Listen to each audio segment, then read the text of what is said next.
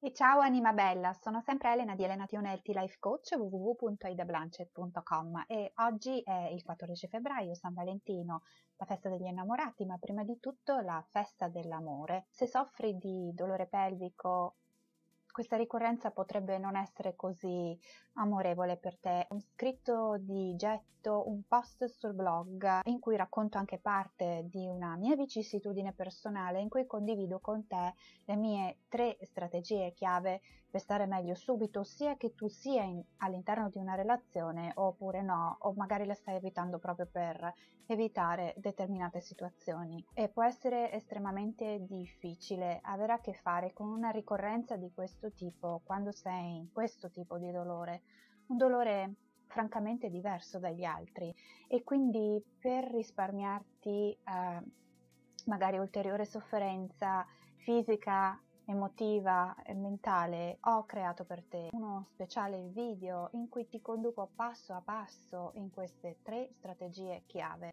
Ti aspetto dall'altra parte alla seconda parte di questo video. Voglio soltanto ricordarti la cosa basilare che sai già.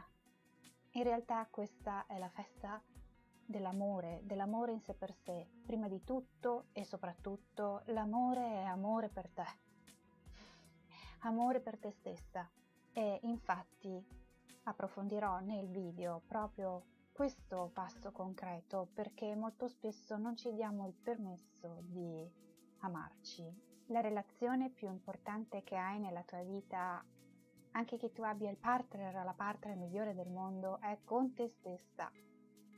E quante volte invece ci remiamo contro e ci forziamo e ci spingiamo a fare cose che in realtà non ci fanno bene, non ci nutrono. Sappiamo che non sono buone per noi in questo momento magari, eppure continuiamo a farle.